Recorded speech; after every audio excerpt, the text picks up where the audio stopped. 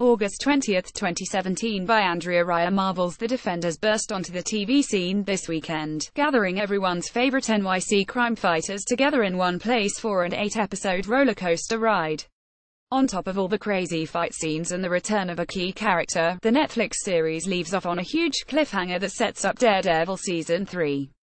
Although it was hard to narrow them down, here are our favorite most shocking moments from the Defenders' first season because of course there is going to be a season 2, but be warned of spoilers ahead.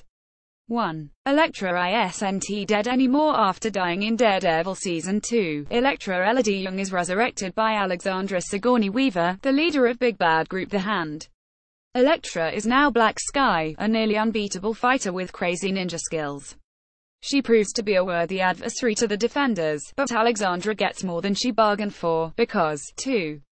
Elektra kills Alexandra nothing like Dr.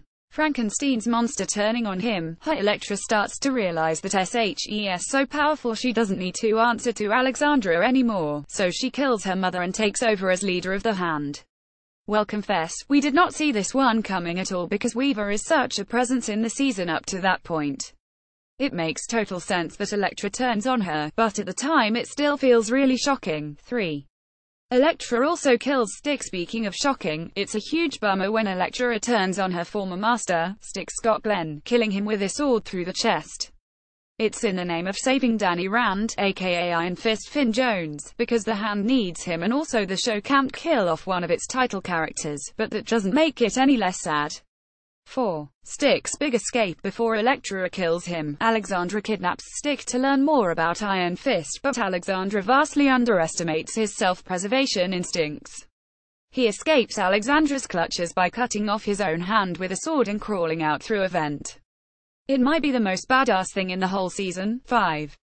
Heads up O, and Stick also decapitates hand member Sowande Babs Olusanmokun with a sword and then sends his head to the rest of the hand in a box. You're the best, stick. Rip. 6. That subway scene amid all the fighting and drama is an amazing little scene where Luke Cage, Mike Colter, Jessica Jones, Krysten Ritter, and Matt Murdock Charlie Cox have to take the subway like normies.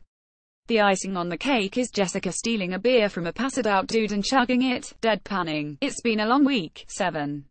Misty loses an arm NYPD's debt. Misty Knight Simone Missick plays a pretty big part in the season, wanting to work with the defenders to bring down the hand, but also hesitating to trust these vigilantes because they're working way, way outside of the law. She eventually fights alongside them at the Midland Circle Financial Building, but ends up losing an arm for her trouble. It's okay, though, because this means big things are coming for her. In the comics, Tony Stark aka Iron Man replaces Misty's arm with a bionic one, and she goes on to start a pie firm with Colleen-winged Jessica Henwick. How great would that be as another MCU Netflix Series 8? The cliffhanger The final scene features a comatose Matt waking up under the care of some nuns, one of whom can be heard saying, Get Maggie, tell you her HES awake. This Maggie is actually Maggie Murdock, Matt's mother. She left Matt and his father, Jack, when Matt was just a baby to become a nun. Judging by this cliffhanger, Maggie is going to play a big role in Daredevil Season 3.